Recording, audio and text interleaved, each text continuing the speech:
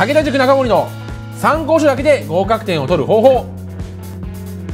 はいそれでは今回は、えー、福井大学の小論文の勉強について話していきたいと思います、えー、小論文前期試験で導入されているのは、えー、医学部の看護学科ですね、えー、で導入されておりこちら時間が90分で、えー、まあ大問1題ですね、えー、出題されております。で医療の、えー、テーマが中心なので医師薬系の、えー、知識、えー、まあそれのネタ本などをやっておくことが必要かと思います。で論述量、え、に関してはですね大体まあ1000字いかない程度の論述、え、中心なのでまあ、あの小論文の書き方の本とネタ本を仕込んでおけば十分対応できる難易度でしょう。えー、やる参考書としては、まあ、田村の優しく語る小論文で、まあ、小論文って何かって掴んだ上で、えー、小論文の完全攻略本、えー、で書き方を学び、そして、えー、小論文の完全ネタ本の、まあえー、主役系ですね、こちらで、えー、まあ、えー、ネタ、えー、医療系の知識ちゃんと入れておくと。で重要なのはこれらに関して、あのー、まあ、問題文も与えられますので本文の、えー、内容著者の考えなどをまとめてっていう部分があるので、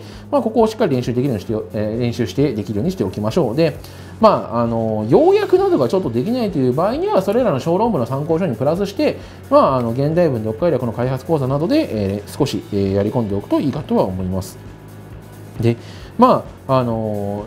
学部の、えー、テーマがそのまま取材される以上ですね興味関心があるかどうかっていう点を問われるというふうに考えておいた方がいいでしょう。なのでその単純に、え答えただ覚えればいいでしょうではなくてそのテーマにちゃんと、え興味関心持って、え、自分なりの考ええー、っていう部分を、えまあ、持てるように、え、意識して学習するように心がけてください。以上が小論文の勉強となります。